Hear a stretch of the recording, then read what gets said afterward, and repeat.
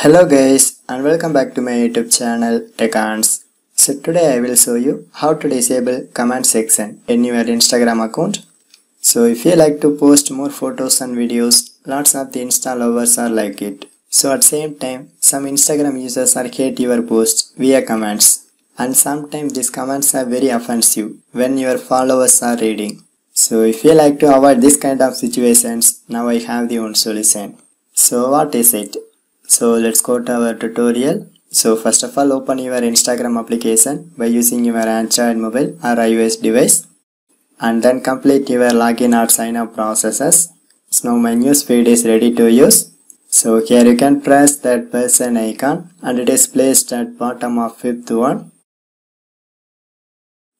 and it shows my entire Instagram profile informations but in this section you can press that horizontal three lines icon and it is placed at almost right side of your display.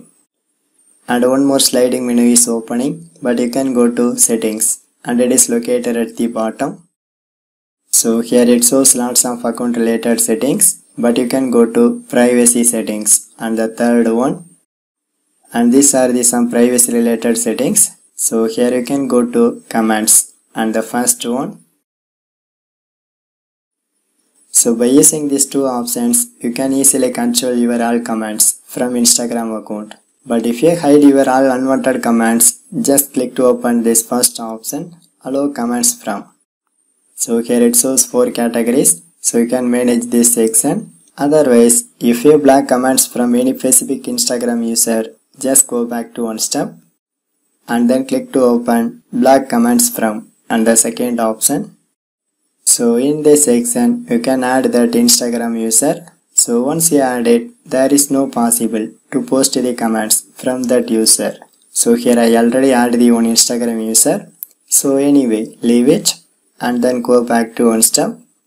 But my suggestion is always click to enable this third option, hide offensive comments. Because once you enable this setting, the Instagram automatically hide the unwanted comments from your post so you can click to enable it.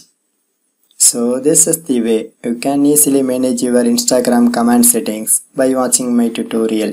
For more tech videos you can subscribe my beautiful tech channel Teconz and thanks for watching